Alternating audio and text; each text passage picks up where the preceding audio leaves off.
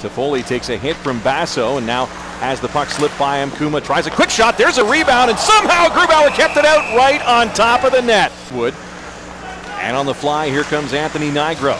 Off to the wing it goes. There's a chance, and Grubauer slams the door shut in tight. Here.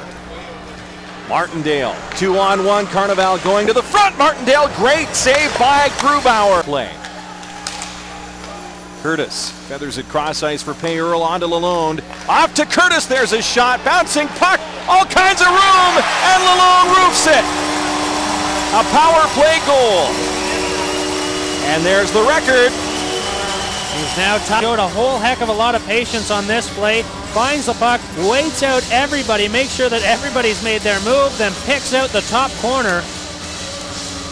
He's finally allowed a goal. He had gone a long time without uh, giving up a goal against. Here's DeCoste, a chance for Belleville. DeCoste scores!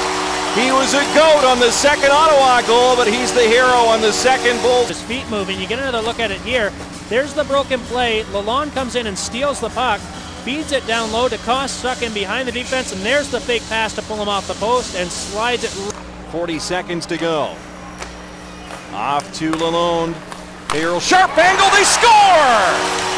Kyle DeCoste in front has tied the game at three on a power play. On the doorstep, Lalonde got it started, then Perel from the corner, tape to tape to DeCoste. Tic-tac-toe goal. Shawn Lalonde throws it across, Perel right out in front to DeCoste and makes no mistake.